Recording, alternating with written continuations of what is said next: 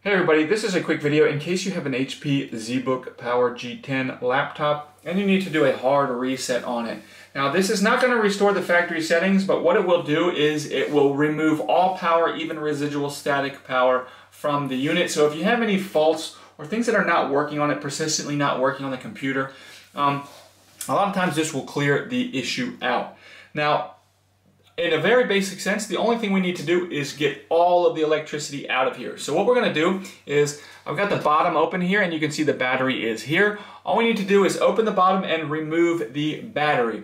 Now once the battery is removed, there is still some residual electricity in the device. So then what we need to do is turn it around and press and hold the power button for at least 15 seconds. And that power of trying to turn it on will drain whatever residual power is in there. Um, you know, 15 to 20 seconds, then let go, wait a few more seconds, and then you can basically put the battery back in, put the case back on, put it back together, and turn it back on, and it will have been fully hard reset.